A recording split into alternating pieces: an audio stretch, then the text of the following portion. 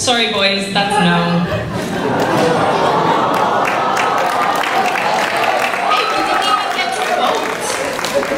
Doesn't matter. Next act, please.